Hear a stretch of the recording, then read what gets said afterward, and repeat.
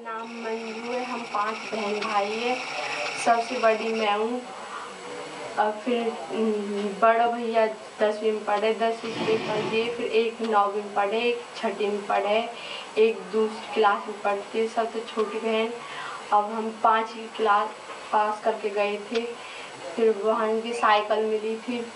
Cycle पे जाते थे घर वालों घर वालों की चिंता होती थी फिर आठ ही में गाड़ी लग गई फिर पापा नौवीं गई दसवीं गई और ग्यारहवीं गई अब बारहवीं में दाखिला दिवा दी और गाड़ी की वजह से।